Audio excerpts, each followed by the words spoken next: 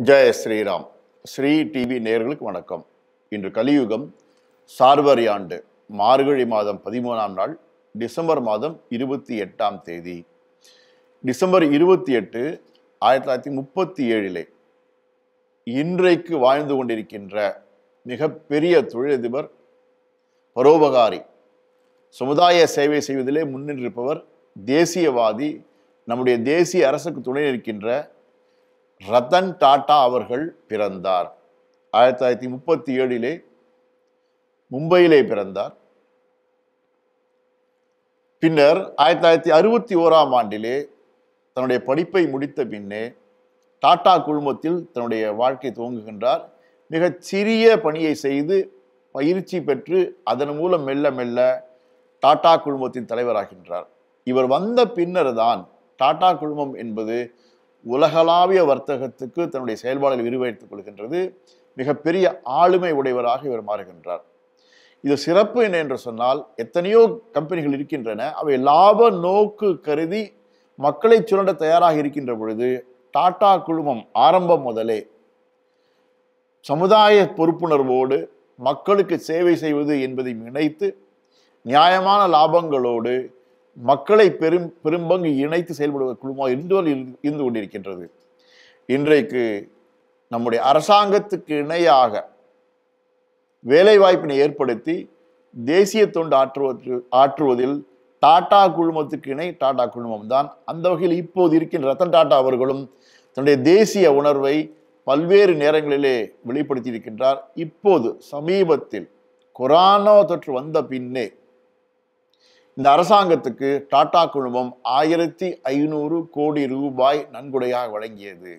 வேறு எந்த குழுமமும் இந்த நாட்டில் இருக்கின்ற எந்த குழுமமும் இந்த அளவுக்கு செய்யவில்லை.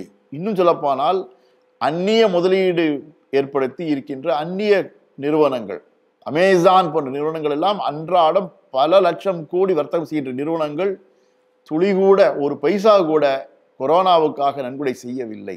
ஆனால் அன்றாடம் அன்றாடம் நம்முடைய பணத்தை அவர் வர்த்தகம் மூலமாக எடுத்துக்கொண்டிருக்கிறார் என்று சொல்ல வேண்டும்.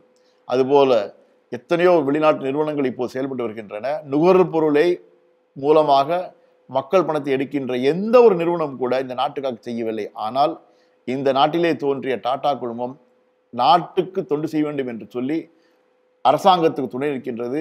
பாரத பிரதமருக்கு துணை நிற்கின்றது. அப்படிப்பட்ட அந்த குழுமத்தினுடைய இன்றைய நிர்வாக பொறுப்பாளர் ரத்தன் டாட்டா அவர்கள் பிறந்த தினம் இன்று. இதே நாள் இருபத்தி எட்டு டிசம்பர் ஆயிரத்தி தொள்ளாயிரத்தி ஐம்பத்தி ரெண்டாம் ஆண்டிலே மறைந்த முன்னாள் நிதி அமைச்சர் அருண் ஜெய்ட்லி அவர்கள் பிறந்தார். ஆரம்ப காலகட்டத்திலே அகில பாரத வித்யார்த்தி பரிஷத் என்ற அமைப்பிலே தம்மை ஈடுபடுத்தி கொண்டு தன்னுடைய தேசப்பணியை செய்து வந்தார். வக்கீலாக அவர் படிப்பை முடித்த பின்னே வக்கீல் தொழில் செய்து வருகின்ற பொழுதுதான் நெருக்கடி நிலை ஏற்படுகின்றது.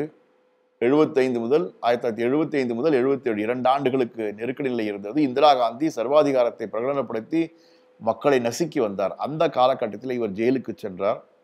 ஆயிரத்தி தொள்ளாயிரத்தி எண்பதிலே இவர் பாரதிய ஜனதா கட்சியிலே இணைத்து கொண்டு இளைஞர் அணி தலைவராக இவர் இருந்து செயல்பட்டு அதன் பின்னே பல்வேறு பொறுப்புகளை எடுத்துக்கொள்கின்றார் தேசிய செயற்குழுவில் ஈடுபடுகின்றார். தன்னுடைய திறமையால் பங்களிப்பு கொடுத்து பின்னர் மோடி அரசாங்கத்திலும் இவர் நிதி மந்திரியாக இருந்திருக்கின்றார். பாரத பிரதமராக நரேந்திர தாமோதராஸ் மோடி வர வேண்டும் என்று முன்மொழிந்ததில் இவரும் முதன்மையானவர் என்று சொல்ல வேண்டும். இவருடைய துணை மோடிக்கு அதிகம் இருந்தது என்பதைத்தான் அரசியலை கூர்ந்து கொண்டு சொல்கின்றார்கள்.